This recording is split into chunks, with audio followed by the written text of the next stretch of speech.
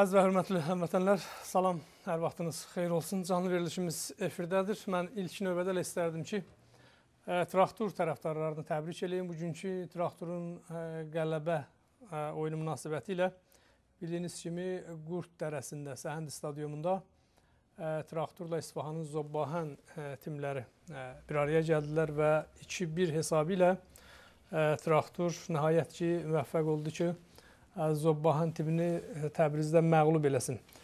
Əlbəttə canlı, yəni jurnalistik vasitəsilə bu veriliş efirdə oldu. Yəni oyunu sizə təqdim elədik. Gördünüz, yəni təxminən əgər orta, yəni yan hakim açıq aşkar traktorun düz qolunu offside elan eləmişdi ki, Davər Vəsətin müdaxiləsi nəticəsində, yəni bu qol qəbul olundu və bu da nəticəni demək olar ki, dəyişdi, əvəz elədi. Siz təsəvvür eləyin, əgər yəni əgər Davər Vəsətdə, yəni orta hakim də bu məsələyə yəni eyni qərarı, yan hakimin qərarını təyid eləsəydi ki, yəqin ki, yəni traktor bu oyunda öz meydanında uduzacaqdı. Təxminən 30 mindən çox tərəfdarlarımız traktor azarkeşləri stadionda demək olar ki, oyunun əvvəlindən axıra qədər təşviq etdilər. Yeri gəlmişkən, yəni təşəkkür edirik o soydaşlarımıza ki, belə bir soyuq havada ə, getdilər və öz timlərini təşviq etdilər. Yəqin ki, etdilər. Yəqin ki, bu növbəti, yəni oyunlar üçün, traktorun oyunları üçün də daha da ə, çox ə, tərəfdarları meydana gətirəcək. Milli şüarlar həmişə olduğu kimi ə, orada səsləndi, televiziyondan eşidirdiniz. Əgər ə, e, həmvətənlərimizdən, yəni özlərinin ə, e, könüllü soydaşlarımızdan çəkdikləri filmlərdən bizim əlimizə çatsa, ə, e, biz ə, bunu sizə təqdim edəcəyik. Bu arada mən ə, verilişi, yəni sabah onu da mən deyim ki, Şəhərdarın oyunudur. Yenə də ə, canlı siz Günastiv vasitəsilə izləyəcəksiniz. Saypa Şəhərdarı Kərəcdə oynayacaq ki, istədim Kərəcdən olan həmvətənlərimiz Şəhərdarı timini yəni tək qoymasınlar. Hə, bəli. Ə, Bugünkü verilişimiz iki qismətdən ibarətdir. Təxminən 1 saat, 1 saat 15 dəqiqə müddətinə e, verilişimizin iki qisməti e, Sayın Doktor e, Qubat bəy İbadoğlu, İqtisadi Tədqiqatlar Mərkəzinin rəhbəri, Azərbaycan və İrandakı iqtisadi, iqtisadiyyatla bağlı yəni söhbətimiz olacaq. İkinci qismət isə Sayın Obalı bəy Camacın növbəti qurultayından Maşallah bəylə birlikdə sizə bilgi və məlumat verəcəklər. Yəqin ki, digər idarə heyətinin üzvləri də qoşulacaq və mən bunu deyim ki, sabah da həman, yəni sabahki gündə elə Camalcın qurultayına, Güney Azərbaycan Milli Azadlıq Cəbhəsinin qurultayına həsr olunacaq. Videolar, görüntülər sizə təqdim olunacaq təbii ki. Amma mən istərdim ki, verilişimizin ilk qismətini Sayın Qubat bəy, sizi çox xoş gördük və təşəkkürlər. Bizim verilişimizə qatıldınız, dəvətimizi qəbul elədiniz. Sanıram, yəni o qədər də təqdimata ehtiyac yoxdur. Soydaşlarımız tanıyır. Dəfələrlə Günas TV-də çıxış eləmisiniz iqtisadiyyatla bağlı və bu günlərdə istərdik ki, elə Azərbaycandan başlayaq. Yəni bizim üçün həm yəni soydaşlarımızla salamlaşın, həm də elə sual da bundan ibarətdir ki, dünyadakı iqtisadi kriz ki, bir çox ölkələr demək olar fələc elədi. Necə oldu? Yəni bu Azərbaycandan yan keçdi və yaxud dəqiq bilmir, bəlkə bu Azərbaycana da təsirini göstərdi. Maraqlıdır. Bugünkü Azərbaycanın yəni iqtisadi durumu haqqında elə hə, söhbətimizi buradan başlayaq. Buyurun söz sizdədir. Əslində mən deməzdim ki, e, dünya iqtisadi böhranı Azərbaycandan yan keçib. Hı -hı. E, çünki dünya iqtisadi böhranının Azərbaycanda ə, e, təsirinin ə, e, müxtəlif simptomları var və mən ə, e, təbii ki 2009-cu ildə ə, Azərbaycan iqtisadiyyatını təhlil edərkən ə, bir ekspert kimi bu ə, neqativ təsirlərlə rastlaşmışam. Əvvəla 2009-cu il dünya maliyyə böhranı dövründə Azərbaycan iqtisadiyyatında ə, xüsusilə də büdcə sferasında müəyyən ə, deyək ki, enmələr hiss olundu. Çünki ə, bildiyiniz kimi həmin il dünya bazarında neftin qiymətinin aşağı düşməsi son nəticəsində Azərbaycanın e, neft gəlirlərinin azalmasına və neft gəlirlərinin azalması isə dövlət büdcəsinin e, gəlir hissəsinin, mədaxil hissəsinin e, tam şəkildə e, dolmasında problemlərə gətirib çıxartdı. Yəni e, bunu düzdür, Azərbaycan özünün e, digər ehtiyatları hesabına neft fondunun vəsaitlərini dövlət büdcəsinə transfer eləməklə e, neytrallaşdıra bildi. Amma ə, həmin dövr üçün ə, hesab edirəm ki, həm dövlətin maliyyə siyasətinə, həm də ki, bütövlükdə biznes mühitinə ə, iqtisadi maliyyə böhranının ə, təsirləri ə, kifayət qədər ciddi oldu. Azərbaycanda 2009-cu ildə xüsusilə də biznes sektoru ə, dünya maliyyə böhranının təsirindən ə, müəyyən mənada itkilərə məruz qaldı. Çünki bəzi biznes sektorları, o cümlədən e, neft məhsullarının istehsalı ilə məşğul olanlar, neft kimya sənayesi müəssisələri isə hansı ki, dünya bazarına, regional bazara mal çıxarırdı. Onlar e, deyərdim ki, e, həmin dövrdən e, aldıqları böhranın təsirindən aldıqları zərbədən hələ bu günə qədər də özlərinə gələ bilməyiblər. Məsələn, bir neçə müəssisənin adını da çəkmək olar. Sumqayıtda yerləşəndəki kimya zavodları, o cümlədən Sumqayıt Aşqarlar zavodu, o dövrün məhz öz ənənəvi bazarlarını itirdi. Bu gün də demək öz işçilərini işlə təmin etmək problemindən üzləşir və bəlkə səviyyədə demək istehsal gücünü təmin edə bilmir. Digər bir təsir isə bu artıq biznes yox, ailə səviyyəsində oldu Azərbaycan vətəndaşlarına. Çünki o dövr əvvəla mən sizə deyim ki, xüsusilə də Azərbaycan vətəndaşlarının bir qismi bilirsiniz ki, ayrı-ayrı ölkələrdə yaşayan və Azərbaycana pul göndərən soydaşlarımızla əlaqəli şəkildə dolanır. Amma həmin dövrdə digər ölkələrdə də böhranın təsirindən, o cümlədən Rusiyadakı mövcud vəziyyətdən Azərbaycana göndərilən pul transferlərinin, pul köçürmələrinin həcmi azaldı. Bu baxımdan e, hesab edirəm ki, e, sosial vəziyyətdə də bir gərginlik yaşandı. Düzdür, 2010-cu il iqtisadiyyatını və 2009-u biz pozitiv yekunlarla başa çatdırdıq. Amma 2011-ci il iqtisadiyyatı Azərbaycan iqtisadiyyatında demək olar ki, artımın kəskin şəkildə aşağı düşməsi ilə nəticələndi. Hal-hazırda e, ilkin məlumatlara görə iqtisadiyyatda artım səviyyəsi 0,3% təşkil edibdir. Bu baxımdan e, düşünürəm ki, e, bir e, dövrlər, yəni çox uzaq olmayan bir dövrdə təxminən 2005 və 2006-cı illər nəzərdə tuturam, e, dünya iqtisadiyyatında 34,5 25 faizlik artımla e, demək bu göstəricilərlə e, tanınan Azərbaycan iqtisadiyyatı ötən il 0,3% artımı deməli nümayiş elətdirə bildi. Yəni bu bütövlükdə iqtisadiyyatın həm neft amilindən, həm də neftin deməli istehsal həcminin və eyni zamanda qiymətinin Azərbaycanda bütövlükdə həm büdcədə, həm də iqtisadi sahədə öz təsirini göstərdiyini deməyə əsas verir. Düzdür, bizdə maliyyə bazarları yoxdur, qiymətli kağızlarla biz səhmlərlə işləmirik. O baxımdan dünya maliyyə bazarında e, və eyni zamanda fond birjalarında baş verənlər Azərbaycan e, iqtisadiyyatında, xüsusilə də e, qiymətli kağızlar sektorunda ciddi təsirləri, ciddi izlərini buraxmadı. Çünki o sektor bizdə deyərdim ki, digər ölkələrlə, hətta qonşu dövlətlərlə müqayisədə o qədər də inkişaf etmiş demək sahə sayılmır. Bəli, sən Qubat bəy, Bəs bu Azərbaycanda qeyri-neft e, sektorları üzərində hər hansı bir yatırımlar varmı? Yəni təsəvvür edin ki, yəni Azərbaycanda bu günlər Azərbaycanın heç nefti yoxdur. Nefti qoyaq kənara. Əgər olmasa, yəni bu ölkənin durumu necə ola bilər və ümumiyyətlə yəni bunu Azərbaycan nəzərə alıbmı? Qeyri-neft sənayeləri üzərində bir fəaliyyətlər varmı? Yəni inkişaf varmı? Əslində mən deyərdim ki, bu bizim üçün çox vacib bir sualdır və bu gün biz bu sualı cavablandırmaq üçün uzun müddətli dövrə bir strateji baxışımız olmalıdır. Təəssüflər olsun ki, bizdə bütün həm proqramlar, həm bütün bizim xərcləmə siyasətimiz yalnız demək olar ki, neftlə əlaqəli və neft gəlirləri ilə bağlı dövr əhatə edir. Bu baxımdan mən sizə deyim ki, 2011-ci ildə Azərbaycan neftdən kənar sektoruna müəyyən səviyyədə yatırımlar qoyuldu. Əslində bunu dövlət özü elədi. Yəni bizdə sahibkarlıq mühitinin e, səviyyəsi deməzdim ki, imkan verdi ki, biz bunu xarici investorların sərmayələri hesabına həyata keçirək. Məsələ bundan ibarətdir ki, 2011-ci il Azərbaycanda turizm ili oldu və Azərbaycanda bu günləri e, daha çox inkişafa e, məruz qalan e, sektorlardan biri məhz neftdən sonra xidmət sektorudur. Yəni bu xidmət sektoru deyəndə o cümlədən turizm sektoru da nəqliyyat və rabitə sektorunda mən onlara aid edirəm.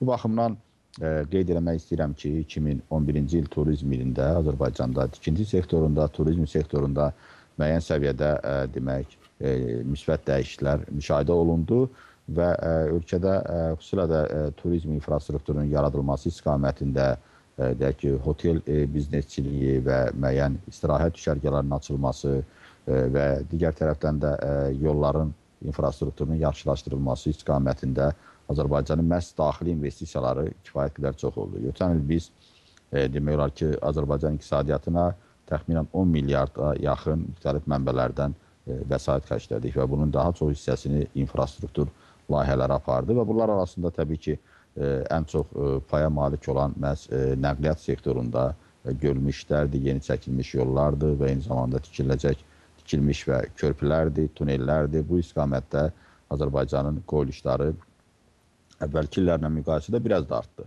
Amma digər e, vacib sektorlardan biri də ki, kənd sərvəti sektoru e, bu imkanlardan hələ də bəhrələnə bilmir.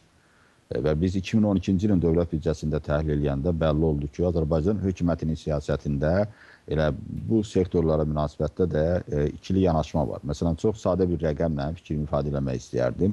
2012-ci ilin dövlət büdcəsindən investisiya e, xərcləri bölməsindən nəqliyyat sektoruna 2,6 milyard manat yəni 2 milyard 60 milyon manat səviyyəsində investisiya ayrılması planlaşdırılır. Amma ə, e, təəssüflər olsun ki, kifayət qədər böyük investisiyaya ehtiyacı olan ə, e, Azərbaycanın kənd sərvatına bütövlükdə götürəndə cəmisi 12,2 milyon manat ə, e, deməli vəsait ayrılması nəzərdə tutulub. Təsəvvür edirsinizmi ki, kənd sərvatına ayrılmış ə, investisiyalar ə, demək olar ki, ə, nəqliyyata ayrılacaq investisiyalarla müqayisədə təxminən 2000 e, dəfəyə qədər azdır. Yəni e, bu günləri e, demək olar ki, prioritet siyasət, önəmli əsas istiqamət Azərbaycanda məhz bu xidmət sektorunun inkişafına yönəlir. Amma biz də iqtisadçı olaraq hesab edirik ki, ölkənin gələcəyi, xüsusilə də qiymətlərin durmadan artdığı, ərzaq qıtlığının yarandığı bir dövrdə Azərbaycanın aqrar sektorunun inkişafından asılıdır və biz bu, bu sektorun potensialından yaxşı bəhrələnmək üçün ora daha çox investisiyalar yönəltməliyik. Amma təəssüflər olsun ki, 2010-cu ildə də biz kənd sərvətində tənəzzüllə başa vurduq. 2011-ci ildə müəyyən artımlar qeydə alınsa da, bütövlükdə biz kənd sərvətinin problemini ötən il həll edə bilmədik və hesab edirəm bu gün Azərbaycanın etibarlı ərzaq təminatı ilə proqramının yerinə yetirilməsində kənd sərvətinin potensialından biz lazımınca yetərincə istifadə edə bilmirik. Bəli.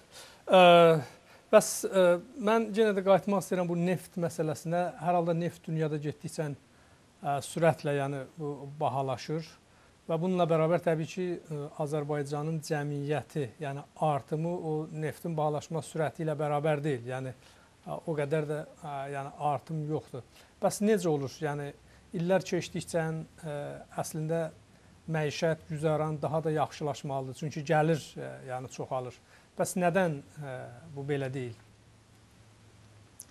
Əslində mən deyərdim ki, bunun başlıca səbəbi ondan ibarətdir ki, Azərbaycanda neft gəlirlərinin e, bölüşdürülməsi, xərclənməsi şəffaf və ədalətli deyildir. Yəni e, və bu e, şəffaflıq və ədalətli bölgünün təmin edilmədiyi bir şəraitdə neft gəlirlərindən demək olar ki, e, sosial ədalət nöqteyi nəzərindən hamının bərabər demirəm, amma hamının özünün e, müəyyən ehtiyaclarının qarşılanması istiqamətində istifadə etmək imkanları məhdudlaşır. Yəni e, indiyə qədər Azərbaycan e, bütövlükdə götürəndə e, söhbət e, əsasən 2003-cü ildən bəri olan dövrdən gedir. 2003-2011-ci illərdə Azərbaycan 61 milyard dollar e, neftdən gəlir əldə edibdir. Və bu neft gəlirlərinin e, 29 milyard dollarının biz xərclənməsi ilə bağlı artıq sərəncam vermişik.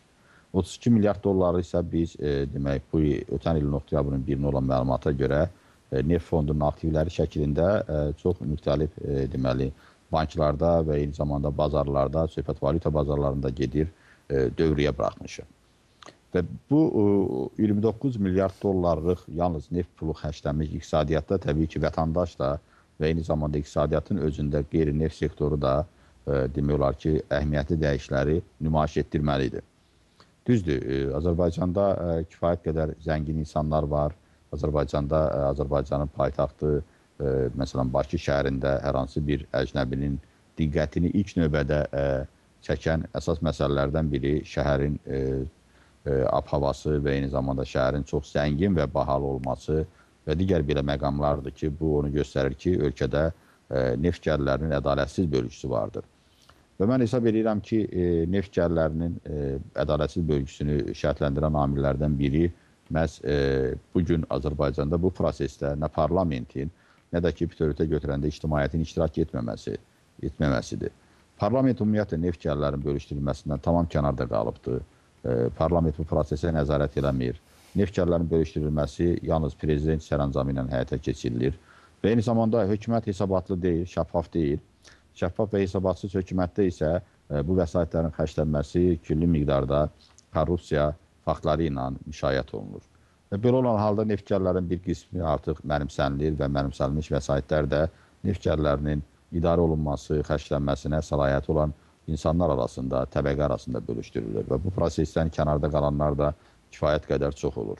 Bu gün Azərbaycanda orta aylıq əmək haqqı 355 e, manat təşkil edir. Yəni bu e, Amerika Birləşmiş Ştatlarının dolları ilə 400 dollar deməkdir. E, təbii ki, Azərbaycanda 400 dollarla ailə başçısı orta statistik Azərbaycanlı ailəsini ehtiyaclarını hətta minimum səviyyədə belə təmin etmə imkanlarına malik deyildir. Çünki orta statistik Azərbaycanlı ailəsinin sayı 4,5 nəfər hesab olunur və bu o deməkdir ki, əgər biz nəzərə alsaq ki, hətta rəsmi məlumatlarda bir nəfərin yaşayış minimumu 126 manat təşkil edir. Onda bunu 4,5-ə vuranda bəlli olur ki, Azərbaycanda ə, e, ən azı hətta 4,5 nəfəri orta statistik Azərbaycan ailəsinin minimum səviyyədə yaşayışını təmin etmək üçün ortalıq əmək haqqı 500 manat olmalıdır. Amma e, bu gün e, təbii ki, ə, bu əmək haqqının o adamlar alırlar ki, onlar işləyirlər. Azərbaycanın digər problemlərindən biri işsizlik problemidir. Yəni işi olmayanlar, çalışmayanlar təbii ki, ortalıq əmək haqqı səviyyəsində əmək haqqı ilə təmin oluna bilmirlər. Bu da böyük problemdir ki, bəs onda işsizlərə e, biz hansısa bir təminat veririk kimi. Təbii ki, e, kifayət qədər zəngin olan bir ölkədə işsizlərin aldığı müavinət e, demək olar ki, bugün ə, bizim ə, demək hesablamalarla ə, təxminən ə, 100 manatdır və bu bütövlükdə də işsiz status alanların hamısına verilmir. 25-30 faizi belə müavinətlər ala bilirlər və bugün 100 manatla işsiz öz ailəsini hətta hamısına belə ə, müavinət verilsə, bir ay ərzində saxlama imkanlarına malik deyildir. Digər tərəfdən Azərbaycanda layiqli olmayan əmək haqqı siyasəti vardır. Yəni Azərbaycan vətəndaşları, Azərbaycanın ə, əmək qabiliyyətli əhalisi, məşğul insanlarının böyük bir hissəsi məhz büdcə sferasında çalışır. Yəni bunlar müəllimlərdir, həkimlərdir, mədəniyyət işçiləridir, e, sosial xidmət e, və digər sferada çalışanlardır ki, bunlar büdcədən hətta ortalıq əmək haqqı səviyyəsindən aşağı əmək haqqı alırlar e, və onların əmək haqqları da ki, səhiyyə sektorunda 150 manat orta hesabla, e, eyni zamanda təhsil sektorunda orta hesabla 220 manat təşkil edir. Və e, bu halda təbii ki, e, bu gün Azərbaycanın büdcə sferasından əmək haqqı alan təhsil və səhiyyə sferasında çalışanlar e, özlərinin və ailələrinin ehtiyaclarını təmin etməkdə müəyyən çətinliklərlə üzləşirlər və bu da layiqli əmək haqqı siyasəti olmayan e, sosial e, sferada həm də korrupsiyaya yol açır. Başqa bir problem e, bizim təqaüdçülərin problemidir. Azərbaycanda 1,3 milyon nəfər e, təqaüd alır və bu insanların e, təqaüdlərinin minimum məbləği 85 manatdır. Düzdür, 2011-ci ildə təqaüdlərin yenidən hesablanması, təqaüdlərin orta məbləğinin əhəmiyyətli dərəcədə artmasına gətirib çıxartdı. Yəni əvvəlki illərlə müqayisədə mən bunu əhəmiyyətli dərəcədə deyirəm, amma əslində digər ölkələrlə müqayisə etsək, bu gün də ki 150 manatlıq təqaüd də bir təqaüdçinin e, yaşayışının minimum dəyərini belə ödəmə imkanına malik deyildir. Təbii ki, belə e, bu baxımdan e, biz e, baxanda e, cəmiyyət e, çox müxtəlif görsənir. Yəni sosial statusuna görə, sosial bərabərsizliyə görə biz arzulayırıq ki, e, Azərbaycan e, neft gəlirlərindən e, daha səmərəli istifadə eləsin. E, çünki Azərbaycan hazırda qızıl dövrünü yaşayır. Yəni Azərbaycanın indiyə qədər, bəlkə bundan sonraki tarixində də e, il ərzində bu qədər böyük e, valyuta gəlirləri olmayacaq və o baxımdan e, bu valyuta gəlirlərinin səmərəli istifadə olunması və ondan həm iqtisadiyyatın, həm də ki, əhalinin e, bəhrələnməsi bu günün əsas e, vacib olan e, məsələlərindən biridir.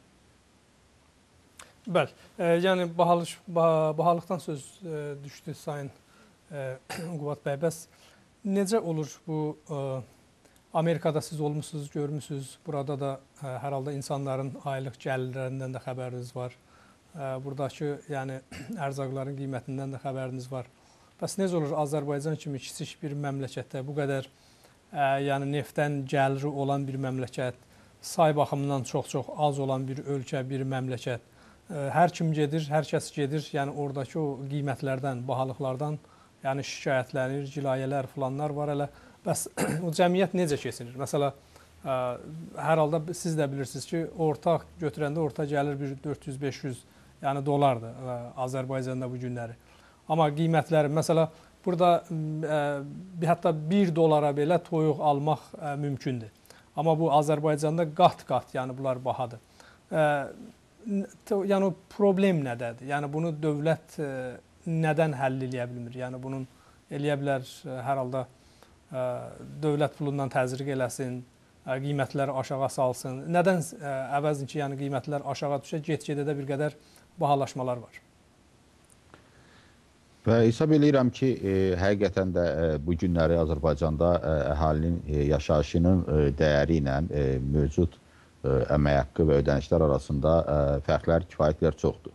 Bilirsiniz, e, bunun qarşısını almaq üçün ilk növbədə biz iqtisadiyyatı liberallaşdırmalıyıq. Azad bazar olmalıdır, azad sahibkar olmalıdır və eyni zamanda e, bu sahibkarlıq mühitində sağlam rəqabət olmalıdır. Bu gün ə, e, Azərbaycanda ə, e, ən ciddi problemlərdən biri məhz ə, e, monopoliyalara qarşı mübarizənin demək olar ki, olmamasıdır. Və bu ə, problemi qeyd etmək istəyirəm ki, ə, Azərbaycanda yəni monopoliyanın bu bahalıqda təsiri varmı? Əhəmiyyətli dərəcədə təsiri var. Hı -hı. Çox sadə məsələn fikirlərimi mən sizin üçün izah eləyim. Azərbaycan bazarında ə, baxmayaraq ki, ölkənin potensialı böyükdür, amma ithal mallarının, xüsusilə də istehlak bazarında payı kifayət qədər çoxdur. Təəssüflər olsun ki, ildən ilə biz xaricdən daha çox istehlak malları gətiririk, daha çox ərzaq malları ithal eləyirik.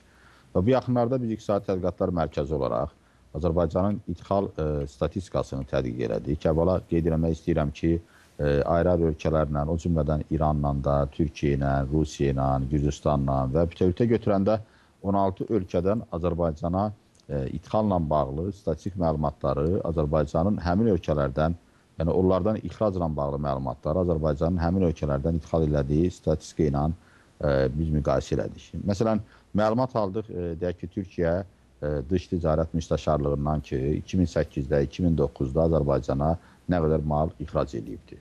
Sadə bir rəqəm deyim. Məsələn, 2008-ci ilin məlumatına görə, Türkiyə tərəfinin verdiyi məlumata görə bu 1,8 milyard dollar, 1,6 milyard dollar səviyyəsində görsənirdi.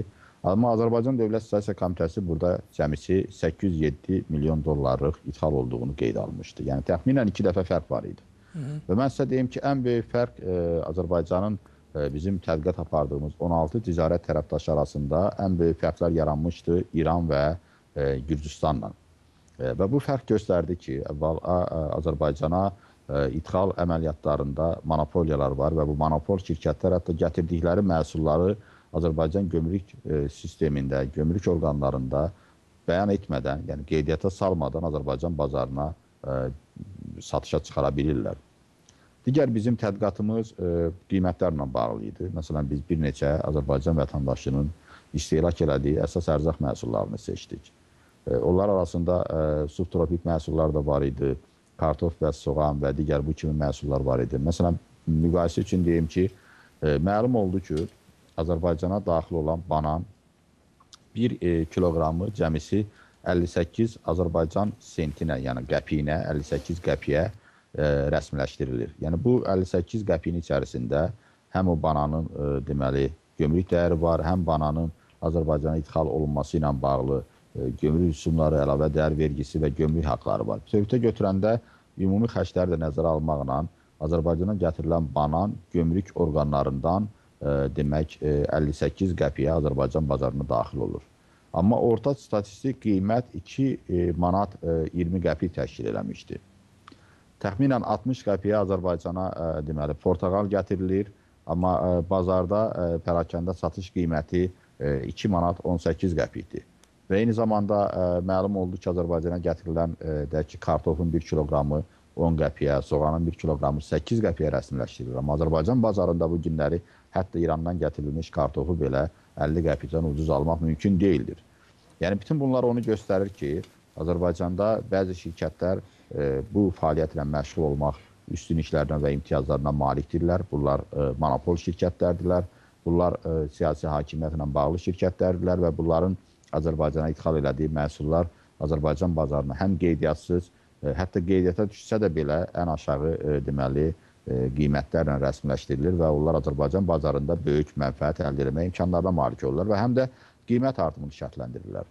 Digər bir tərəfdən təbii ki, ölkədə qiymətlərin artımını şərtləndirən başqa amillərdən biri də ondan ibarətdir ki, ölkədə bir təbəqə var ki, həqiqətən də onlar çox zəngindir və onların alıcılıq qabiliyyəti yüksəkdir və bizim deyək ki, Amerika Birləşmiş Ştatlarından, Avropadan gələn qonaqlarımızı da heyrətləndirən qiymət siyasəti məhz onların sayəsində baş verir. Yəni həm mehmanxanaların qiyməti, həm deyək ki, restorandakı qiymətlər məhz o bir qrupun ödəniş qabiliyyətinin yüksək olması səbəbindən həmişə demək olar ki, baha olur və bu bahalıqdan da ən çox əziyyət çəkən sadə insanlardır. Başqa bir səbəb də bayaq qeyd elədik, Azərbaycanın kənd səbatı sahəsindəki problemlə bağlıdır. Bilirsiniz, məsələn, hal-hazırda çox sadə bir müqayisə eləyək. Azərbaycanda istehsal olunmuş Gədəbəy kartofunu Azərbaycandakı bazarlardan, o cümlədən Bakı şəhərindəki bazarlardan biz ən yaxşı halda, ən ucuz qiymətə 1 kiloqramını 80 qəpiyə alırıq. Amma İrandan gətirilmiş kartof Azərbaycan bazarında deməli 40 qəpiyə, 50 qəpiyə satılır. İki dəfə bunun fərqi var.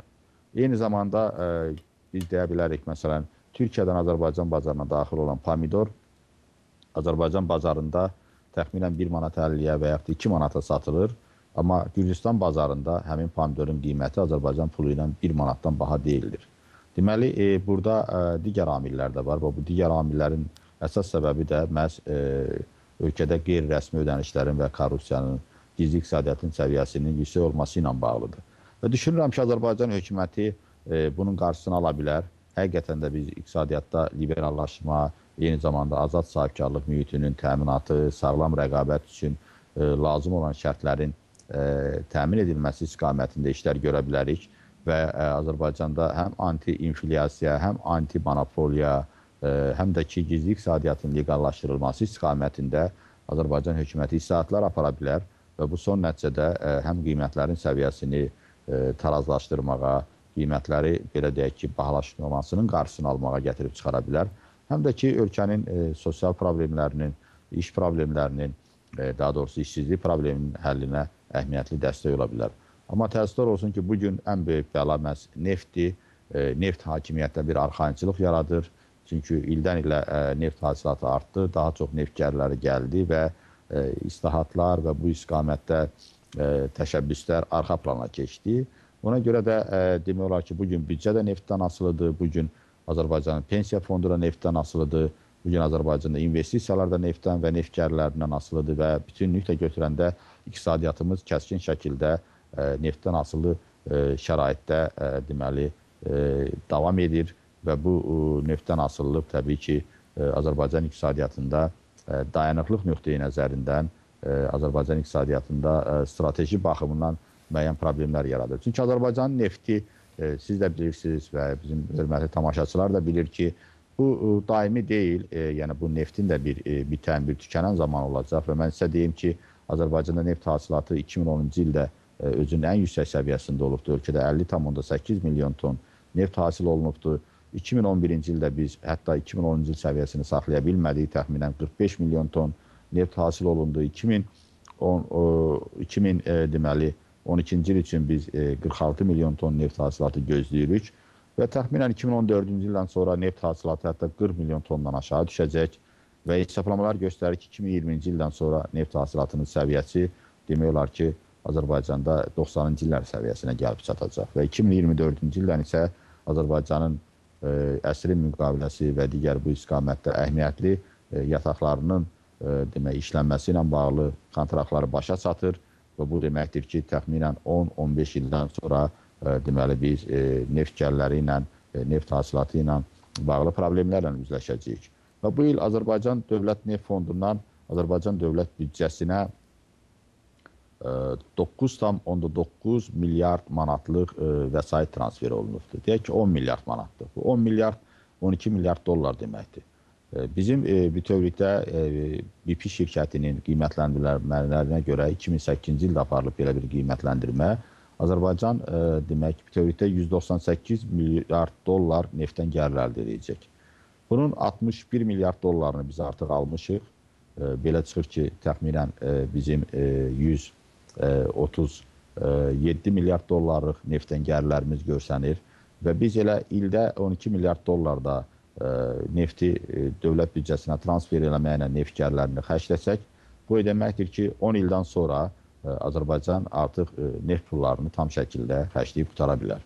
Bəs 10 ildən sonra biz bu artan ehtiyaclarımızı, büdcənin xərcləmələrini nə ilə təmin edəcəyik? Hər bir ölkədə büdcənin cari xərcləri olur. Yəni bu xərclərə investisiya xərcləri daxil olmur. Bu xərclər sadəcə olaraq ölkənin saxlanılması, idarə edilməsi, ölkədəki büdcə sferasında çalışanların əmək haqqlarının ödənilməsi ilə bağlı xərclərdir. 2012-ci ilin büdcəsini təhlil edəndə məlum oldu ki, 2012-ci ilin büdcəsində cari xərclər 8,8 milyard manatdır. Və gəlin görək ki, bu cari xərcləri ödəmək qabiliyyətində bizim e, qeyri-neft sektorundan daxil olmalar varmı? Hesablamalarımız göstərir ki, 2012-ci ildə qeyri-neft sektorundan təxminən 5 milyard manat daxil olma olacaq. Yerdə qalan 12 e, milyard manatlıq daxil olma e, deməli neft sektorunun birbaşa və dolayı yolla payına düşür. Və onda bu halda bizim əgər neft gəlirlərimiz olmasaydı, onda hətta biz e, özümüzün cari xərclərimizi belə ödəmək qabiliyyətinə malik deyildik. Çünki cari xərclərimiz 8,8 milyard manat, amma qeyri-neft sektorunun daxil olmaları, yəni neftdən kənar büdcəmiz isə 5 milyard manat səviyyəsindədir. Və bu baxımdan hesab edirəm ki, Azərbaycan hökuməti bu barədə düşünməlidir və Azərbaycan hökuməti ən azı özünün cari xərclərini təmin etmək səviyyəsində qeyri-neft sektorundan daxil olmalara malik olmalıdır. Bəli. Ə, ə, Sayın Qubad bəy, ə, mən yenə də qayıtmaq istəyirəm bu bayaqları siz ə, səbəblərini yəni dediniz, amma Bu bahalığın əlbəttə ki, monopoliya filan dövlətin səhv siyasəti nəticəsində ümumilikdə bəs bu ə, bunun həlli yolları nədir? Məsələn, bir mütəxəssis kimi bu vəziyyətin, durumun düzəlməsi üçün ə, millət, yəni düzgün ə, Azərbaycandakı mövcud iqtisadiyyatdan bəhrələnməsi üçün, ucuzluğun bərpası üçün filan, yəni hansı yollar pişnahat təklif edərdiniz? Mən hesab edirəm ki, e, mütləq iqtisadiyyatda liberallaşdırma islahatlarına start verilməlidir. Çünki Azərbaycan iqtisadiyyatı e, bildiyiniz kimi kifayət qədər mərkəzləşdirilmiş iqtisadiyyatdır.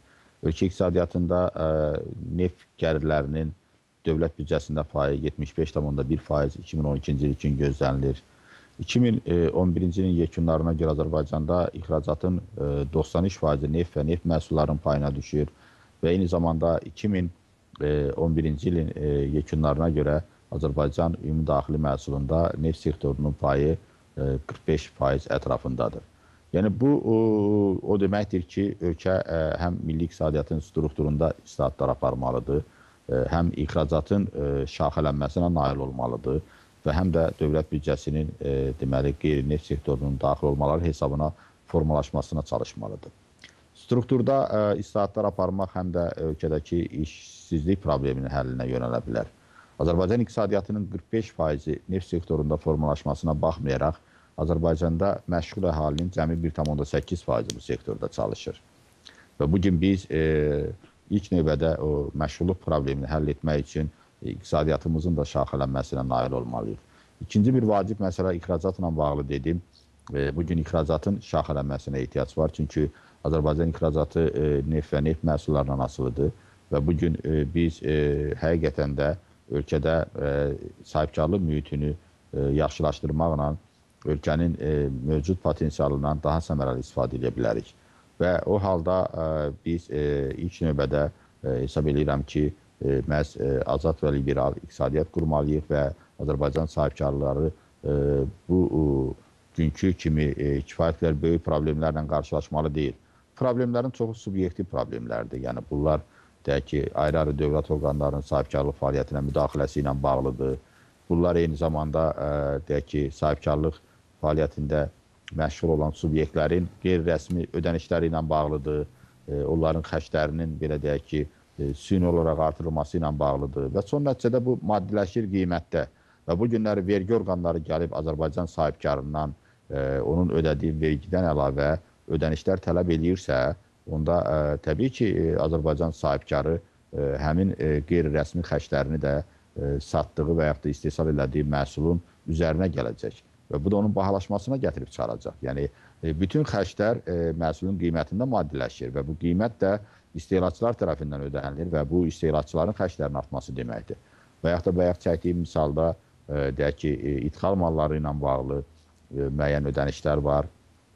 Qeyri-rəsmi eyni zamanda orada bir dövriyyə var və bu halda da məhz orada formalaşmış əlavə xərclər son nəticədə Azərbaycan bazarına daxil olan istehlak mallarının qiymətində oturur və bu da Azərbaycan istehlakçıları tərəfindən ödənilir. Ona görə də e, mən hesab edirəm ki, iqtisadiyyatın liberallaşdırılması, azad e, sahibkarlıq mühitinin yaradılması ilə yanaşı Azərbaycanda e, ilk növbədə biz korrupsiya ilə mübarizəyə e, çalışmalıyıq və Azərbaycanda e, xüsusilə də e, bu sahibkarlıq mühitinə e, inzibati bariyerlərin azaldılmasına nail olmalıyıq. Və digər bir tərəfdən e, Azərbaycanda şəffaf və hesabatlı hökumət qurulmalıdır. Şəffaf və hesabatlı hökumət Azərbaycanın dövlət büdcə vəsaitlərindən daha səmərəli istifadə etmə imkanlarına malik ola bilər. Bilirsiniz, Azərbaycan e, indi e, özünün inkişaf dövrünü yaşayır və Azərbaycanın 2012-ci il büdcəsi xərclər hissəsi 17 e, milyard manat, e, gəlirlər hissəsi isə 16,5 milyard manat təsdiq olunmuşdur. Və bu vəsaitlər həqiqətən də real iqtisadiyyatda öz əksini taparsa və o vəsaitlər korrupsiya yeminə çevrilmədən e, həm investisiya, həm də digər xərclərin ödənilməsinə yönəldilərsə, inandırım sizi ki, bu qiymətlərin də demək ucuzlaşmasına və son nəticədə iqtisadiyyatda da yeni iş yerlərinin açılmasına və əhalinin e, bütövlükdə götürəndə güzəranının yaxınlaşmasına xidmət edə bilər. Ona görə də həqiqətən də bu gün bizim üçün e, islahatlarla yanaşı həm də e, antikorrupsiya e, islahatının antikorrupsiya istiqamətində mübarizə tədbirləri güclənilməsi və eyni zamanda şəffaf və hesabatlı hökumətin qurulması e, çox vacib məsələlərdən biri hesab olunmalıdır. Bəli. Ə, Sayın Qubad bəy, mən indi çox təşəkkürlər. Mən istərdim ki, İran iqtisadiyyatı ilə bağlı bir qədər ə, siz özünüzdən istifadə edək. Bildiyiniz kimi, yəni dünyada, dünya tərəfindən, qərb dövlətləri tərəfindən iqtisadi sanksiyalar, yəni neçə müddətdir tətbiq olunub. Sizcə, yəni bu ə, hamam iqtisadi sanksiyadan sonra ki, ə, bizim güneyli soydaşlarımız başa düşsün deyə, yəni iqtisadi təhrimlərdən bu durumdan sonra İrandakı mövcud iqtisadi vəziyyət necə görünür? Yəni rejim yəni buna bu iqtisadi sanksiyalara davam gətirəcəkmi? Yəni bu bunun qarşısında məsələ iddia eləyir ki, heç bir təsiri yoxdur. Həmişə bunu yəni dildə ən azı deyirlər, amma biz əməldə görürük ki, vəziyyət, iqtisadi durum çox-çox ağırdır. Məsələ elə bu günləri dolar yenə də yəni 1 dolar təxminən 1730 tümənə qalxdı. Yəni bu çox böyük bir iki qat, yəni əvvəlkindən təsəvvür edin ki, iki dəfə artıq bu günləri doların qiyməti yüksəlib. Və eyni zamanda çoxlu orada fabrikalar yəni işdən düşüb, dayanıb. Dövlət bir sözlə bunu özü dilə gətirmir. Sizcə bu nə dərəcədə, yəni hər halda bir iqtisad mütəxəssis kimi yəqin ki, İran iqtisadiyyatı ilə də bağlı bir maraqlan maraqlanırsınız. Nə deyə bilərsiniz İran iqtisadiyyatı ilə bağlı? Əvvəla qeyd edeyim ki, İran iqtisadiyyatı da bizim e, əvvəllər yaşadığımız və bu gün də müəyyən miraslara malik olduğumuz mərkəzləşdirilmiş bir iqtisadiyyatdır. Yəni mərkəzləşdirilmiş plan iqtisadiyyatıdır və bu mərkəzləşdirilmiş plan iqtisadiyyatı e, həmişə müvazinatını itirə bilər. Çünki bu iqtisadiyyatın dayaqları demək olar ki, hətta Sovet e, dövründə də gördük ki, möhkəm deyildir. Və İran iqtisadiyyatında e, yenə də e, dövlət e, mülkiyyəti, xüsusilə də ə, kənd sərvatında və eyni zamanda ə, ticarət sferasında aparıcı rola malikdir və bank sektorunda da biz ə, bu vəziyyəti müşahidə etmə imkanlarına malikik. Və qeyd etmək istəyirəm ki, İranda ən ciddi problemlərdən biri həm də inflyasiya olacaq. Orada da qiymətlərin bahalaşması prosesi və eyni zamanda mövcud gəlirlərin dəyərsizləşməsi deməli müşahidə oluna bilər. Yenə də İranda məşğulluq problem olaraq qalacaq və bu işsizlərin sayının artmasına gətirib çıxara bilər. Bilirsiniz ki, İranda da monopoliyalar var və bizim hətta ayrı-ayrı deməli iqtisadiyyat professorlarının hesablamalarına istinadən deyə bilərik ki, İranda bütövlükdə götürəndə e, milli e, gəlirinin e, 65 faizi 20 böyük kompaniyanın payına düşür. Və eyni zamanda e, İranda e, ixracatın 80 faizi onların payına düşür. İran iqtisadiyyatı da e, dünya bazarından və eyni zamanda e, neftdən çox asılı bir iqtisadiyyatdır. Çünki İranda e, dövlət büdcəsinin 55-60 faizi və məhz neft gəlirləri hesabına e, formalaşır.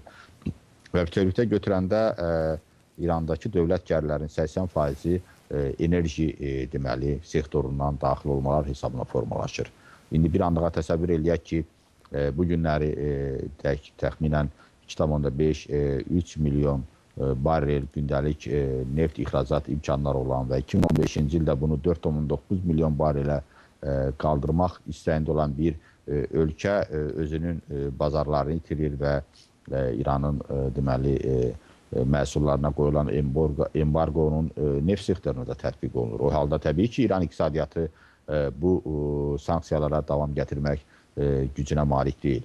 Və bunun yalnız iqtisadi təsiri yoxdur, həm də bunun psixoloji təsirləri var. Və bazarlardan birində yaranmış vəziyyət iqtisadi qanuna uyğunluqlara görə digər bazarlara da təsir göstərir. Ona görə biz əlahiddə olaraq bu prosesdən, bu sanksiyadan İranın energetika bazarındakı vəziyyəti e, təhlil eləməli deyilik. Çünki e, bu bazarlar hamısı bir-birinə əlaqəlidir. Xüsusilə də e, hər bir istehsal, hər bir xidmətin e, maya dərində e, yanacaq enerji resurslarının payı kifayət qədər çoxdur. Ona görə də e, bunun təsirindən İranda e, bahalaşma və inflyasiya e, demək artırıcı e, amillərin e, fəallaşması e, müşahidə oluna bilər və eyni zamanda e, İranın əsas gəlirlərini məhz e, neftdən E, formalaşdığını, enerji sektorundan formalaşdığını nəzərə alsaq, e, təbii ki, bu dövlət büdcə kəsirinin artmasına gətirib çıxara bilər. Və bu e, dövlət büdcə kəsirinin artması dövlətin öhdəlik götürdüyü deməli maliyyələşmə imkanlarını reallaşdırılmasında problem yarada bilər. Yəni bu əmək gecikdirilməsi ilə, əmək verilməməsi ilə, xüsusilə də dövlət sektorunda yaşayanların vəziyyətinin daha da pisləşməsi ilə nəticələnə bilər. Və mən sizə deyim ki, e, bütövlükdə e, bu e, həm də dünya bazarına da təsir göstərə bilər və bildiyiniz kimi İran xüsusilə də həm neft, həm də qaz sahəsində dünyanın aparıcı ixracatçı ölkələrindən biridir. Və mən sizə deyim ki, dünyanın dördüncü neft sahəsində deməli ixracatçı ölkəsi sayılır və İranda eyni zamanda kifayət qədər böyük neft ehtiyatları var və bu baxımdan İranın bu ehtiyatları mövcudluğu şəraitində öz potensialını reallaşdıra bilməməsi və e, dünya bazarına e, lazım olan səviyyədə e, deməli neft və qaz resurslarını çıxara bilməməsi ə, dünya bazarında həm də psixoloji və iqtisadi ə, neqativ ə, sektorda neqativ ə, təsirlərin formalaşmasına gətirib çıxara bilər. Və mən hesab eləyirəm ki, bu İran üçün təbii ki, böyük fəlakət deməkdir və nəzərə alaq ki, e, İran e, iqtisadiyyatında həm də subsidiyalar əhəmiyyətli rol oynayır və bu gün e, demək olar ki, İranda həm ərzaq məhsullarına, həm yanacaq, elektrik və benzinə subsidiyalar tətbiq olunur. Və bunlar hamısı neft gəlirləri hesabına təmin olunur. Əgər neft gəlirləri davamlı şəkildə ölkə iqtisadiyyatına daxil olmayacaqsa, onda subsidiyalaşma problemi yaranacaq və subsidiyalaşma probleminin yaranması təbii ki, e, bu gün e, orta e, İranlı ailəsinin öz demək təminatlarını hətta minimum səviyyədə belə ödəmək imkanları məhdudlaşması deməkdir. Məsələn, hesablamalar göstərirdi ki, bunu Beynəlxalq Valyuta Fondu aparmışdı ki, orta İran ailəsi adam başına 3,6 min dollar deməli ildə vəsaitə malik idisə, əlavə olaraq o 4 min dollar subsidiya alır.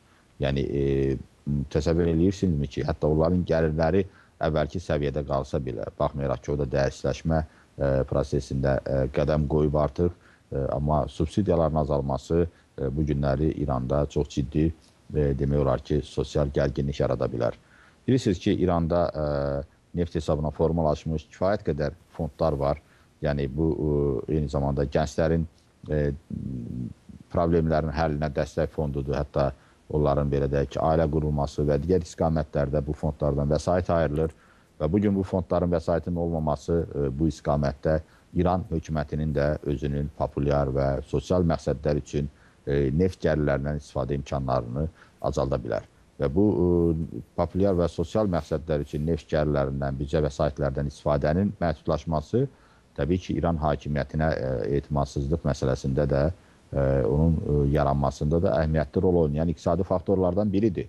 Buna görə də e, bu məsələ hesab edirəm ki, həm e, sosial, həm siyasi, həm də iqtisadi nöqteyi nəzərindən təhlil olunmalıdır və e, bu e, sanksiyaların tətbiqi e, son nəticədə İranda e, çox ciddi e, demək olar ki, e, böhranların adını çəkdiyim sosial, iqtisadi və siyasi böhranların formalaşması üçün əsaslar yarada bilər. Bəli. Bəs Sayın Qubat bəy, ümumiyyətlə yəni bu siz qeyd elədiniz ki, neftin olmaması. Yəni əgər bu eyni Azərbaycandakı kimi bir müddət, bir zamandan sonra ə, İranda da neft bitərsə, qurtararsa, hər halda ə, dünyanın hər yerində hə, bu neft yeraltı sərvət qalmayacaq. Yəni bir gün tükənəcək, qutaracaq. Yəni bunun nə qədər bunun bitməsi ehtimalı, yəni siz dediniz ki, dünyada 4-cü səhv etmirəmsə 4-cü ölkədir ki, neft istehsal edir. Bəli. Yəni bu o deməkdir ki, bunlar həddən artıq bəlkə də bazar tələbatından daha da çox yəni bu neft istehsal edirlər. O zaman İrandakı neftin təxminən ömrü haqqında nə qədər yəni hər hansı bir tədqiqatınız varmı ki, nə zaman, nə, neçə ilə qədər davam gətirə bilər? Nə qədər ümumiyyətlə bunların neft zəxirələri mövcuddur? Bilirsiniz, bu ə, hesab edirəm ki, İrandakı ə, neftin ə, hasilat səviyyəsindən və tempindən asılıdır.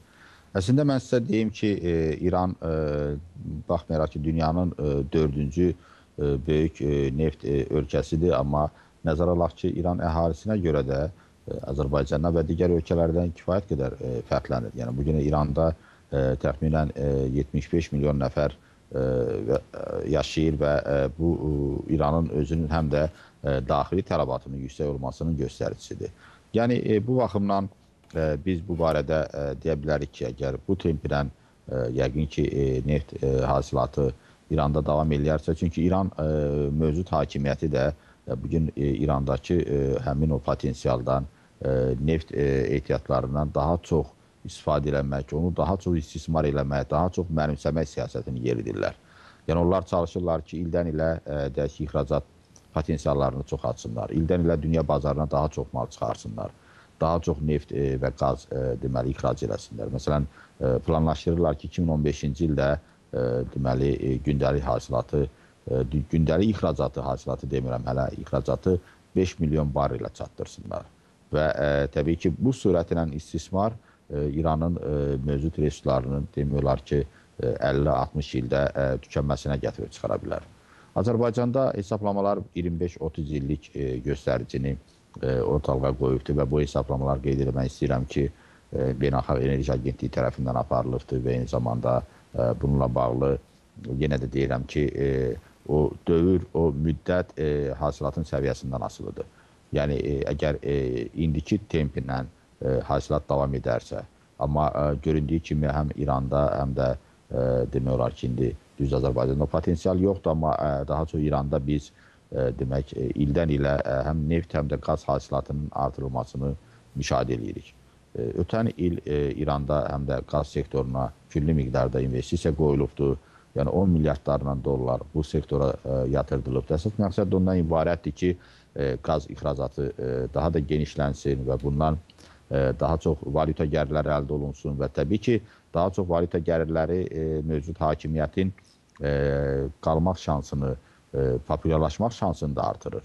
Məsələn, mən bu yaxınlarda Venezuelanın timsalında bir tədqiqatla tanış oldum və bu tədqiqatda göstərilirdi ki, məhz təbii resurslardan gələn gəlirlər əgər şəffaf və hesabatsız bir hökumət tərəfindən istifadə olunursa, bu onların deməli siyasi hakimiyyətlərin şanslarını artırır. Çünki belə hakimiyyətlər həmişə çalışırlar ki, bu vəsaitlərdən daha çox sosial və eyni zamanda populyar siyasi məqsədlər üçün istifadə eləsinlər.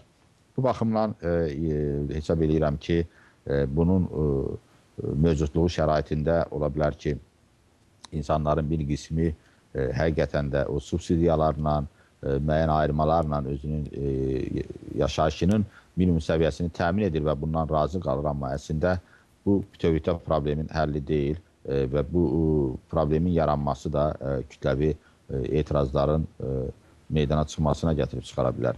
E, və mən hesab edirəm ki, e, İranda e, iqtisadiyyat e, liberallaşmalıdır, çünki İran iqtisadiyyatı həddindən çox mərkəzləşdirilibdir. İranda da e, demək olar ki, e, İran iqtisadiyyatının üçdə biri e, əsasən e, orada olan e, mollaların və eyni zamanda digər e, belə deyək ki, siyasi hakimiyyətə təsir imkanları olanların nəzarət altındadır və bu monopoliyalar e, aradan qaldırılmalıdır e, və e, digər istiqamətlərdə də təbii ki, e, biz e, bütövlükdə götürəndə e, İranın həm də neftdən və qazdan kənar e, sektorlarında e, inkişaf potensialını çox yüksək görürük Həqiqətən də aqrar e, potensialı bu ölkənin yüksəkdir. Həqiqətən də ölkənin yerləşdiyi e, coğrafi mövqeyi və eyni zamanda e, ölkənin e, çıxışları həm e, okeana, həm digər e, şərqə, qərbə onun e, potensialı e, onu deməyə əsas verir ki, e, İran vətəndaşları indikindən də qat-qat yaxşı yaşamağa layiq vətəndaşlardılar.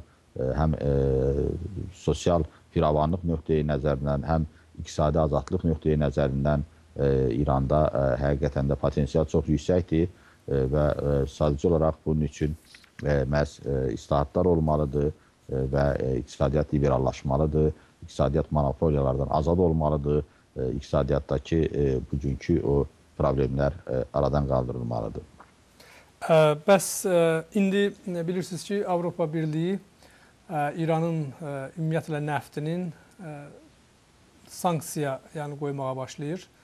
Bir iclasları keçirdilər, yəni bir qərar verdilər ki, hələlik tarixi müəyyənləşməyib, amma yaxın yəni, ola bilsin ki, bir həftə ərzində yenidən yəni onun sadəcə zamanlı vaxtını təyin eləyirlər ki, nə vaxt bunlar birlikdə bərabər İranın nəftinə qadağa qoyarlar, satışına qadağa qoyarlar.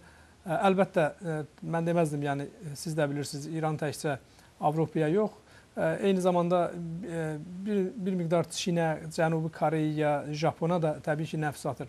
Amma əsas nəftinin təxminən demək olar ki, 60-70 faizi Avropa, yəni bazarına doğru gedir. Bunlar da belə bir qərara gəliblər ki, sanksiya qoyalar. Belə durumda, belə bir vəziyyətdə bu ölkənin iqtisadi vəziyyəti necə olacaq? Yəni əgər bu həyata keçiriləcəksə. Çünki İngiltərə bu işi gördü artıq və Amerika həmçinin qalır bir Avropa Birliyi və Avropa Birliyi də buna təbii ki, cəhd göstərir. Yaxın günlərdə qərarlarını çıxa verəcəklər. Bu təbii ki, İran üçün e, qeyd eləmək istəyirəm ki, e, fəlakət deməkdir. Çünki e, e, həqiqətən də e, İran e, bu günləri e, məhz o ixrac elədiyi neft və qaz resursları hesabına yaşayır və durum bu sanksiyalara demək olar ki, dözüm nümayiş elətdirir. Həqiqətən də düzgün buyurursunuz, yəni İran həm şərqə, həm də ki, qərbə özünün deməli təbii resurslarını, o cümlədən neft və qazını ixrac eləyir. Məsələn, mən qeyd etmək istəyirəm ki, bütövlükdə götürəndə Çinin enerjiyə olan tələbatını, enerji resurslarına olan tələbatının 11%-ni İran ödəyir. Yəni Çin kimi böyük bir iqtisadiyyata malik olan ölkədə təbii ki, İranın qoyuluşları böyükdür. Və digər tərəfdən indi Avropa ə, və ə, başqa ölkələr də İranla ə, bu istiqamətdə əməkdaşlıq eləyirlər. Amma indi 5 il, 10 il bundan əvvəlki dövr deyil. İndi ə, bildiyiniz kimi kəmər diplomatiyası kəmərlərin də şaxələnməsini ə, həmişə önə çəkibdir və indi ə, deyək ki, Çinə gedən kəmərlər yalnız İrandan keçmir və eyni zamanda Çin həm də Mərkəzi Asiyadan, o cümlədən Qazaxıstandan, Özbəkistandan, Türkmənistandan müəyyən resursları öz bazarına e, deməli e, gətirir və e, bu istiqamətdə ehtiyaclarını ödəyir. Bu baxımdan ə, yəni ə, bu ə, təbii ki, bir dəfəlik və tez tələsik olan bir qərar olmayacaq. Ola bilər ki, bu mərhələli bir qərar olsun və çünki ə, eyni zamanda istehlakçı ölkələr də ə, bu ə, qərardan ə, onların iqtisadiyyatına ə, dəyən problemlərin əvvəlcədən həll olunması istiqamətində müəyyən işlər görməlidirlər. Buna görə mən düşünmürəm ki, elə bir gündə e, bütün e, dünya dövlətləri e, belə bir qərara qoşulacaqlar. Yəqin ki, bu mərhələli bir qərar olacaq, amma bütövlükdə götürəndə ə, hər mərhələdə İran ə, iqtisadiyyatının zəifləməsinə xidmət edən bir qərar olacaq. Və mən e, çox təəssüf edirəm ki, e, bu səviyyədə e, deməli e, İran e, hökuməti e, məhz e, vəziyyətin gərginləşməsinə xidmət edən addımlar atır.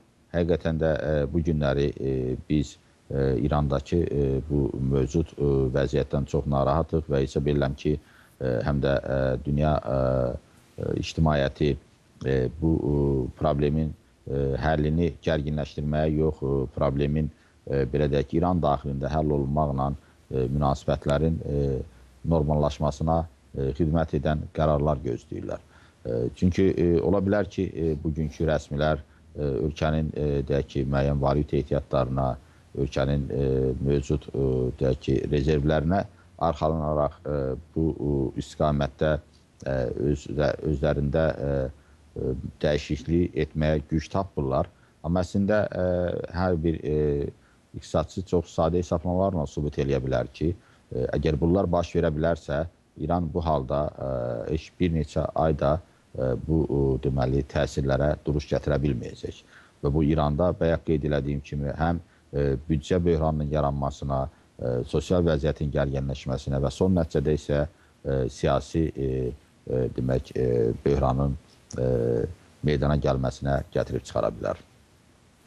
Əlbəttə mən e, onu da qeyd edeyim ki, e, bu İranın özündən asılıdır. Siz ə, e, məsələyə bir qədər yəni insan haqları, hüquqları baxımından yanaşırsınız. İranın qarşısında 3 məsələ qoyulub. 1. Ə, atom bombunu istehsalını, yəni nüvə o proqramını dayandırmalısınız. O zənginləşdirmə ə, nüvənin zənginləşdirilməsini dayandırmalısınız.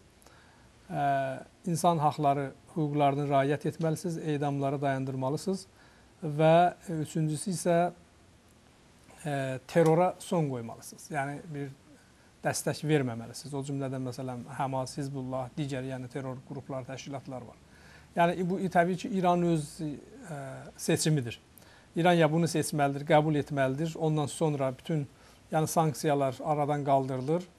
E, ki ya da ki e, İrana qarşı bu sanksiyalar davam edəcək. Yəni iqtisadi, nəftinki, yəni ən əsas siz də vurğuladınız, nəft məsələsidir ki, Avropanın müzakirəsindədir. Hal-hazırda əgər bu qətiyyətlə yəni qəbul olunarsa ki, doğrudan da bu nəftin yəni alışı dayandırılacaq, hər hansı bir nəft istehsal olunmayacaq və belə halda təbii yəni İran İranı bir fəlakət gözləyir. Əlbəttə mən onu da deyim ki, Bu arada ə, Çin ə, təbii ki, bu məsələnin əleyhinədir. Avropa Birliyi ümumiyyətlə hər hansı bir İrana qarşı bu addımların Amma eyni zamanda əgər bu qərarlar qəbul olunarsa, Çin də İrana deyəcək ki, sizin nəftiniz alan yoxdur.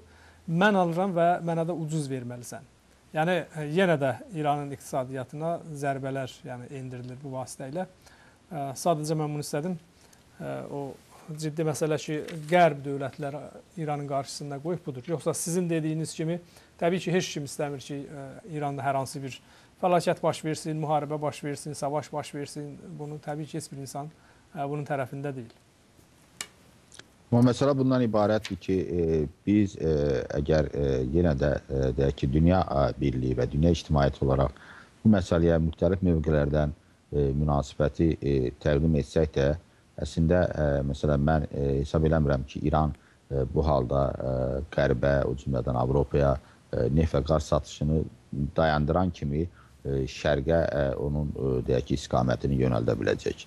Bilirsiniz, neft və qaz məhsulları siz də çox gözəl bilirsiniz ki, bunlar asan satıla bilən məhsullar deyil. Bunlar üçün infrastruktur olmalıdır. Yəni bu günləri bu infrastruktur deyək ki, ildə ə, 1 milyon barrel neftin gündə 1 milyon barrel neftin əgər Çin bazarına maksimum olaraq çatdırılmasını təmin edirsə, bunu birdən-birə biz 3 və yaxud da 2 milyon barrelə çatdıra bilmərik. Yəni hər bir infrastrukturun özünün bir bildiyiniz kimi gücü var, yəni bir istehsal gücü var, bir daşınma gücü var. O baxımdan İran üçün o qədər də asan olmaz əgər bu baş verərsə, özünün ənənəvi bazarlarının bir hissəsini itirəndən sonra onun mövqeyinə yaxın olan ölkələrlə əməkdaşlığı davam etdirsin. Təbii ki, mən razıyam. Hətta ə, əvvəlki səviyyədə ə, satdığı ə, deməli ə, neftin qiymətində də ə, müəyyən ucuzlaşma da ola bilər. Qazın qiymətində də müəyyən sövdələşmələrə gedə bilərlər. Çünki İran artıq özü ə, ola bilər ki, ə, Çin kimi bir və yaxud da iki ölkədən asılı vəziyyətdə qalsın. E, başqa halda e, təbii ki, e, İranın e, alternativləri görsənmir. Bu baxımdan e, hesab edirəm ki, e, bu qərar təbii ki, e, dünya birliyi üçün də bir e, ciddi düşündürücü qərardır. Çünki e, bunun yenə deyirəm ki, e, İran iqtisadiyyatına e, fəlakətli təsirləri var. Amma digər iqtisadiyyatlara da bunun təsirləri ola bilər. Çünki e, indiyə qədərki müşahidələr də göstərir ki, dünya bazarında neftin qiyməti həmişə heç də iqtisadi amillərin təsirindən bahalaşmır. Bəzən isə psixoloji amillər məhz bu siyasi gərginliklərin yaranması səbəbindən dünya bazarında neftin qiymətində müəyyən bahalaşmalar müşahidə olunur. Və mən hesab edirəm ki, bu bahalaşmanın mövcudluğu yəqin ki, e, neft ixrac edən ölkələr üçün e, əlavə gəlir qazanma imkanları yaradacaq və eyni zamanda gəlirlərin çoxalması onları dünya bazarına daha çox e, neft e, deməli satışa çıxarmağa e, stimullaşdıracaq, sövq eləyəcək. Bu halda e, deyək ki, İranın əvvəl Avropa bazarlarına göndərdiyi neftin əvəzini digər OPEC üzvü olan ölkələr təmin edəcəklər ki, e, baha e, deməli qiymətlərlə öz resurslarını satışa çıxartsınlar və daha çox gəlirlər əldə etsinlər. Əslində Burada daha çox itirən və daha pis vəziyyətdə qalan yenə də İran olur və digər ölkələr ola bilər ki, müəyyən dövr üçün, çox kiçik müddətli bir keçid dövrü üçün təsirlərə məruz qalırlar. Söhbət yenə deyirəm ki, mənfi təsirlərdən gedir, amma ə, müəyyən dövrdən sonra onlar ə, prosesi ə, nizamlanmasından sonra əvvəlki səviyyədə demək olar ki, həm neft təminatı ilə həm də ki qiymətləri ilə üzləşəcəkləri o baxımdan orada ciddi problem görsənmir. Ən böyük problem təbii ki İran iqtisadiyyatı üçündür və bu yalnız hesab edirəm ki, iqtisadi problem yaratmayacaq, həm də bayaq qeyd etdiyim kimi iqtisadi problemin davamı olaraq sosial və siyasi böhranların yaranması üçün də əsasları ortalığa çıxara bilər. Aydın. Çox təşəkkür edirəm Sayın Doktor Qubət bəy, minnətdaram. Əgər başqa sizin də əlavə sözünüz varsa, buyurun. Çox sağ olun. Mən də sizə təşəkkür edirəm və hörmətli tamaşaçılara da e, minnətdarlığımı bildirirəm. Gec də olsa onların yeni ilini təbrik edirəm. Təşəkkürlər. Çox sağ olun. Gün TV adına minnətdarlığımızı bildiririk bir daha ki, dəvətimizi qəbul elədiniz və gözəl ə, e, açıqlama verdiniz. Çox sağ olun. Belə, əziz vətənlər, e, bir daha təkrar edirəm ki, qonağımız İqtisadi Tədqiqatlar Mərkəzinin rəhbəri doktor Qubat İbadoğlu Bakı studiosundan ki, Ümid edirəm ki, yenə də gələcəkdə onun e, belə iqtisadi bilgilərindən biz e, istifadə edəcəyik. Ona görə ki, tədqiqatlarda elmi əsası var. Dəqiq və düzgün tədqiqatlardır e, ki, sanıram ki, bizim seyircilərimiz kifayət qədər də istifadə bu bilgilərdən etdilər. Ara alırıq. Aradan sonra əziz həmvətənlər biz ə, e, verilişimizi cəmaət ilə bağlı Güney Azərbaycan Milli Azadlıq e, Cəbhəsinin ə, e, Almaniyanın Köln şəhərində keçirilən növbəti qurultayından, yəni yanvar ayının 6, 7 və 8-ci 8-də keçirilən qurultay ilə bağlı ə, Sayın Əhməd bəy Obalı ə, sizə bilgi verəcək və aradan sonra hələlik.